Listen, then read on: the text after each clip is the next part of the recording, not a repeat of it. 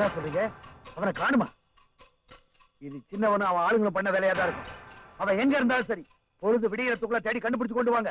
இல்ல உங்க எல்லாரையும் கொண்டு கொளுத்திடுவேன். போங்கடா. அப்பா. அப்பா இனிமேலும் பிடிவாதம் பிடிக்காதீங்கப்பா. இப்படி அடித்தடி சண்டைகளை போட்டு அப்படி ஒரு தாலி என் கழுத்துல ஏற வேண்டாம்ப்பா. சித்தப்பா நினைச்ச மாதிரியே பிரியாவுக்கே அவரை கட்டி வச்சிருங்க. எனக்கு எங்க அப்பா இருக்கும்போது கல்யாணம் குடும்பம் எதுவும் வேண்டாம்ப்பா. லட்சுமி நீ சந்தோஷமா இருக்கணுங்கிறதுக்காக தான் இவ்வளவும் நான் செஞ்சிட்டு இருக்கேன் நிச்சயமா அந்த கல்யாணம் நடக்கும். அப்படி நடக்கலன்னா உங்க அப்பாவை நீ உயிரோட பார்க்க முடியாது. அவன் ஒருத்தனை பிடிக்கிறதுக்கு உங்களுக்கு துப்பு இல்ல. தடி பசங்களா. உங்களுக்கு எல்லாம் இருக்கிற மீச. பொழுது விடியறதுக்குள்ள அவன் இங்க வந்து சேரணும். இல்ல உங்களை எல்லாம் கொளுத்திடுவேன் போகலாம் ராஸ்கல். மாமா அந்த வேலையை நாங்க செஞ்சிட்டோம் மாமா இப்ப அவன் எங்க கஷ்டம் முகூர்த்தத்துக்கு கொஞ்சம் முன்னால மாப்பிள்ளைய கொண்டாந்து மணவரையில உட்கார வைக்க வேண்டியது எங்களோட பொறுப்பு. ஆனா அதுவரையில அவ எங்க இருக்காங்கிற விஷயத்த உங்ககிட்ட கூட சொல்ல மாட்டா. அது சஸ்பென்ஸ். டேய் இதுல சொதப்பல் எதுவும் இருக்காத. மாமா பிரியா கடத்துல தாலியானுக்கு அப்புறம் எங்களை பத்தி நீங்க நினைப்பீங்க. இன்னைக்குதான் மாப்பிள்ளைங்களா ஒரு உருப்படியான காரியத்தை செஞ்சிருக்கீங்க.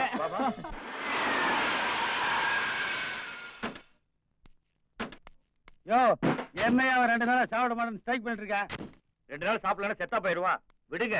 நீங்க பாட்டுல சொல்லிட்டீங்க. அவன் பொசுக்குன்னு மண்டே போட்டானா போலீஸ் இவரு வீட்டுக்குள்ள தேடி வரும். ஓஹோ அத கண்டு தான் பயப்படுறீங்களா? ஏய், பயங்கர வார்த்தை நம்ம ஹிஸ்டரியிலேயே கிடையாது. அந்த வார்த்தையை நான் கேள்விப்பட்டதும் கிடையாது. எந்த நாய்க்கு நான் பயந்ததும் கிடையாது. ஆனா நான் வாழ்க்கையிலேயே பயப்படுற ஒரு ஆள் இருக்கா? அவனு இந்த வீட்டுல தான் இருக்கான். யார் அவன்? நான் தான் அது. பிரதர் என்னுடைய பிரெயினோட ஒர்க்கிங் ஸ்டைல நான் டூ பார்ட்டா பிரிச்சு வச்சிருக்கேன். ஒன்னு வித் லிக்கர் இன்னொன்னு வித்தவுட் லிக்கர் என்ன இந்த காந்தி ஜெயந்தி மகாவீர் ஜெயந்தி எனக்கு தான் நான் ரொம்ப டென்ஷன் ஆயிருவேன். ஏன்? ஒயின் ஷாப்ல மூடிட்டு வரல சரக்கு கிடைக்காதுல்ல. அதனால நிதானத்துல நான் ரொம்ப கன்ஃபியூஸ் ஆகி நான் ஃபுல்லா டென்ஷன் ஆயிருவேன். அதனாலதான் எங்க முதலாளி எப்பவுமே புல் போதே மெயின்டைன் பண்ணிட்டு இருக்காரு டேய், ஒரு நாள் நம்ம பெருமை வேண்டாம் பேசிட்டு இருக்கிறேன் பிரதர் இப்ப நான் ஆ போதையில் இருக்கேன். நாம என்ன பண்ண போறோம் ஏது பண்ண போறோங்கிற பிளானை நீங்க சொல்லிட்டீங்கன்னா அதை நான் ஃபுல் போதையில மெயின்டைன் பண்ணிக்குவேன். நாளைக்கு கோபாலகிருஷ்ணனை கூப்பிட்டுக்கிட்டு சின்னவரோட பந்தலுக்கு போறோம். அதுவும் எப்போ? முகூர்த்த நேரத்துக்கு கொஞ்சம் முன்னால. அப்ப அந்த நேரம் பார்த்து பெரியவர் பந்தல்ல நான் நுழைஞ்சு லட்சுமி கழுத்துல தாலியை கட்டிட்டுமா? அடிச்சு பல்ல உடைச்சிருவேன். லட்சுமி கழுத்து தாலி கட்ட மூஞ்ச பாரு. சின்னவரோட பந்தலுக்கு மாப்பிள்ளக்கார வந்துட்டான்னு தெரிஞ்ச உடனே பெரியவர் அவர் ஆளுகளோட அங்க வருவார். அங்க பெரியவரோட ஆளுகளுக்கும் சின்னவரோட ஆளுகளுக்கும் வெட்டும் குத்தும் அடிதடியும் நடக்கும். அந்த சமயத்துல நீங்க உங்க ஆட்களோட உள்ள நுழைஞ்சு ரெண்டு கும்பலையும் விலைக்கு விடுற மாதிரி நடிக்கிறீங்க. அப்போ கும்பல்ல ஒருத்தனா நின்னு பெருசு நான் போட்டு தள்ளி ஐயோ மாமாவைய கொலை பண்ண போறீங்க? டேய் மேட்ரு எவ்வளவு சீரியஸா போயிட்டு இருக்கு ஏன் குறுக்கு வந்து காமெடி பண்ற? கண்டினியூ ப்ளீஸ் அப்புறம் என்ன? பெருச கொண்டது சின்னவர்னு சொல்லி என் மாமனை போலீஸ் பிடிச்சிட்டு போயிடும். ஒரு மாமன் செத்து இன்னொரு மாமன் ஜெயிலுக்கு போறத பத்தி எங்களுக்கு கொஞ்சம் கூட கவலை கிடையாது. ஆஹா. சூப்பர் மச்சானுங்கடா மச்சானுங்கன்னா இப்படித்தான் இருக்கணும். நீயும் தான் இருக்கிய. ஃபர்தரா கண்டினியூ பண்ணுங்க. இதுல என்னத்த கண்டினியூ பண்றது? அக்கால அத்து விட்டுட்டு இருக்கிற சொத்தை ஆண்டு அனுபவிக்க வேண்டியதா? என்னன்னே சொல்ற? பிளான் சூப்பர் ஆனா இந்த மேட்டர்ல ஒரு கிளாஸை யாருமே டச் பண்ணாம பேசிட்டே இருக்கீங்க. இதுல பர்சனலா எனக்கு கொஞ்சம் இன்வெஸ்ட்மெண்ட் ஜாஸ்தி ஆகுதுல ஆமா பத்து முப்பது ஃபைட்டர் கொண்டு வரணும். அவனுக்கு சரக்கு வாங்கி தரணும். அவனுக்கு பிரியாணி வாங்கி தரணும். நீங்க வாட்டுக்கு உங்க மேட்டர் சக்சஸ் ஆகணும்னு என்னை கண்டுக்காம போயிட்டீங்கன்னா? சே என்ன சார் எங்க மேல நம்பிக்கை இல்லையா? இப்படி மூஞ்சி இன்னசென்டா வச்சுட்டு பேசினா நான் நம்பிக்குவேனா டேய் இப்பதான் ஒரு மாமனை உள்ள அனுப்பலாம் நீங்க? ஒரு மாமனை கொலையே பண்ணலாம் நீங்க? அக்கால வேற அத்துலாம் நீங்க? எதுக்குமே நம்பு கிளாஸ் அண்ட் கண்டிஷனை கரெக்டா பேசிட்டா டீல் பண்ணுவோம்.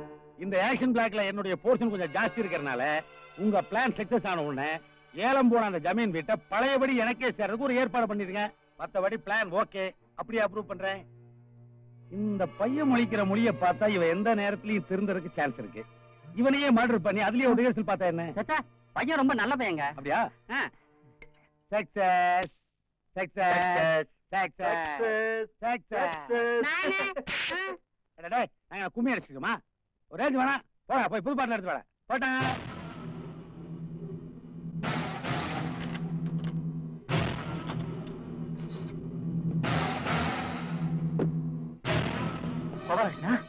கோபாலகிருஷ்ணா ஒன்னதான்ப்பா எந்திரிப்பா முதல்ல இந்த இடத்த விட்டு போயாகணும். எந்திரிப்பா உன்னை கூட வச்சுக்கிட்டு பெரியமாமையை கொலை பண்றதுக்கு திட்டம் போட்டு வச்சிருக்காங்க. முதல்ல இந்த இடத்த விட்டு போயாகணும். போப்பா. போப்பா. இப்படி சொல்லி திறந்து விட்டாத்தான் அவன் வெளியில வருவான்னு உனக்கு யாரு சொன்னா? இல்ல இது யாரு கொடுத்த பிளான் ஐயோ கோவாலு. இத்தனை நாள் லட்சுமி மேல இருந்த ஆசையில தான்ப்பா அவங்க சொன்னதுக்கெல்லாம் ஆமாம் போட்டேன். ஆனா இப்போ பெரிய மாமாவையே கொலை செய்யற அளவுக்கு அவங்க துணிஞ்சிட்டாங்க. அதுக்கு துணை போற அளவுக்கு நான் ஒண்ணும் அவ்வளவு மோசமான ஆள் இல்லப்பா. என்ன நம்பு. வெளிய காளி என்னை காரோட காத்துக்கிட்டு இருக்காரு. வா போகலாம். வாப்பா.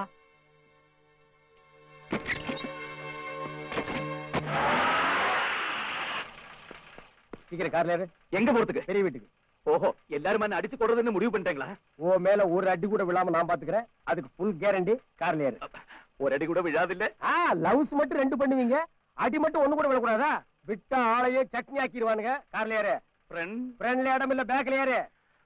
என்ன யோசிக்கிற? கார்ல நீ ஏறியா காரை உன் மேல ஏத்துவா? டிரைவர் கார் எடு.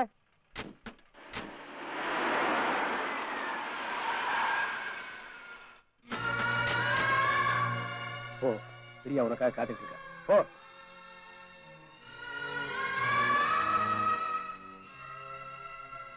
காலையில் என்ன விஷயத்தை என்கிட்ட சொன்னாரு? கண்ணாமூச்சி விளையாட்டுல எல்லாரும் கண்ணை கட்டிக்கிட்ட மாதிரி ஆயிடுச்சு. என்னோட கல்யாணம் அந்த கண்ணாமூச்சி விளையாட்டு மாதிரி இருக்கட்டும். அக்காவோட கல்யாணம் அவன் மனசுப்படியும் நடந்துச்சுன்னா அதுவே எனக்கு போதும். அப்பாவும் பெரியப்பாவும் சண்டையை மறந்து ஒன்னாகணும் அந்த வீடு எப்பவும் போல கலகலப்பா இருக்கணும். அதுதான் இப்ப என்னோட ஆசை. அதை நீங்க தான் நிறைவேற்றி வைக்கணும். அப்பாடா இங்க பாருமா மெயின் சேனலே ஓ மேட்டர் தான். ஓ ரூட் கிளியர் ஆச்சுல்ல விடு.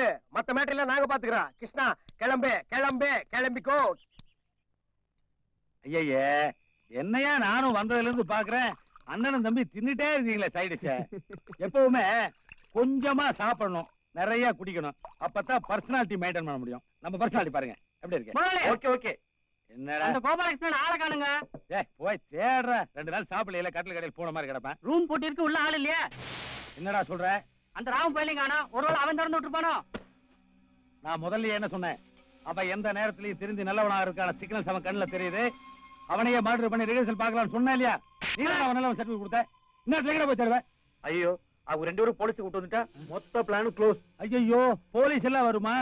ஸ்டேஷனுக்கு என்னை கூட்டு போய் இந்த மாதிரி முட்டி போட வச்சு டியூட்டிக்கு வர ஒவ்வொரு போலீஸ்காரனும் ஒரு அடி அடிச்சாலும் கூட என்னோட ஸ்டோரி முடிஞ்சு போயிருமே. பிரதர்ஸ் ஃப்ரெண்ட்ஷிப் கட் பண்ணிக்குமா? யோ பேசிட்டு இருந்தது போதும். புறப்படுங்க போய் தேடுவா. டேய் பாட்டில் எடுத்துக்கடா. ஏங்க யாருக்குமே பயப்பட மாட்டேன்னு சொன்னீங்க இப்ப இந்த களி கழிக்கிறீங்க போலீஸ் வராதுங்கிற தைரியத்துல ரொம்ப சந்தோஷம்டா குடிச்சிட்டு அங்கேயும் சுத்தா வண்டியில ஏறு. சரி போடா. அப்ப நான் பந்தலுக்கு போறேன். இந்த சைடுல இருந்து வரேன். அப்ப நான்